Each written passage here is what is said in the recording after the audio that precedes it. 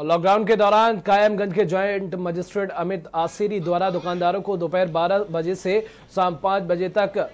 Roster के हिसाब से सशर्त दुकानें खोलने की अनुमति प्रदान किए जाने के उपरांत दूसरे दिन ज्वाइंट मजिस्ट्रेट अमित आसेरी ने पुलिस अधीक्षक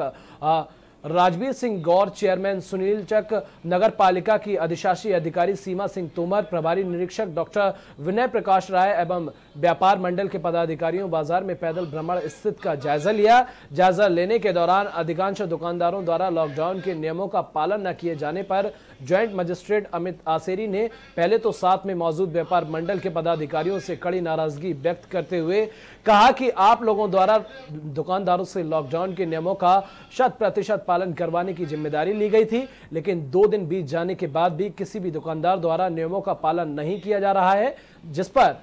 साथ में मौजूद व्यापार मंडल के वरिष्ठ जिला महामंत्री मनोज कौशल व नगर अध्यक्ष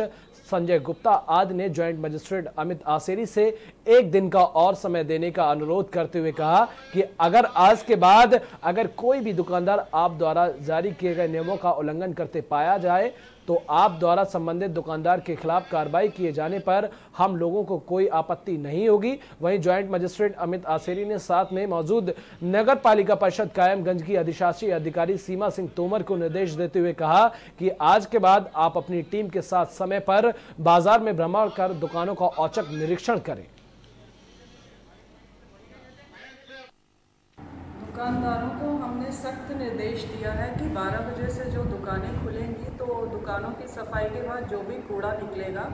उसको डस्टबिन में रखेंगे और 12 बजे हमारी गाड़ी नगर पालिका के यहाँ से निकलेगी। उसी में ही कूड़ा डालेंगे, ना नालियों को गंदा करेंगे, ना सड़क पर कूड़ा फेंकेंगे।